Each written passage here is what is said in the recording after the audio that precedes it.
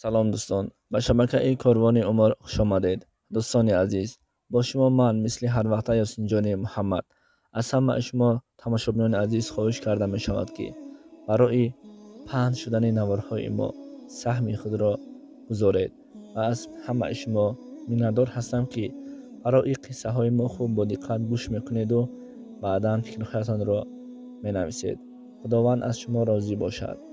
اسب در جنازه این صاحبش мисли одам ашки чашм резон ҳайвонҳо барои дӯсти одам шуданаш дар ҳаёти имрӯзаи мо бо шумо бешакку шубҳа ҳаст ки имрӯзҳо мо гувоҳи ин воқеаҳо мешавем масалан марде бо номи вагнер аз бразилия буд ки аспе дошт ки серена ном дошт даҳ сол мешуд ки рӯзаш бо ҳамин аспаш буд хеле дӯсташ медошт мисли дӯсташ гашта буд аммо марг сабаби ҷудо шудани онҳо шуд.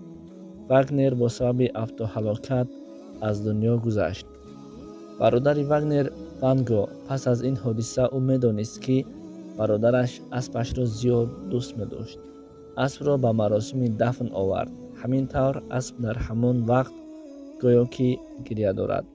Ва ҳамчунин садои ғайриоддӣ мебаровард.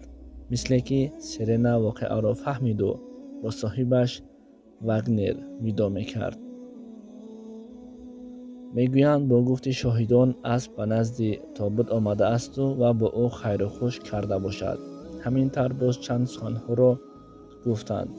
نخواستم که بر شما نقل کنم. همینش کفایه است گفته می نویسد معلیف دوستان عزیز از این بر می آید که در حقیقت در بعض فیلم ها ما گواه می شویم و می بینیم که филмҳо мо гувоҳ мешавем ва мебинем ки асп мисли дӯсти одам гаштаасту ва ҳамеша рӯзашро бо ҳамон мегузаронад ростӣ ин воқеаҳо хеле воқеаҳои хубе ҳаст ва дар ҳақиқат баъзе ҳайвонҳо барои одам ром мегарданду ва мисли дӯсташон мешаванд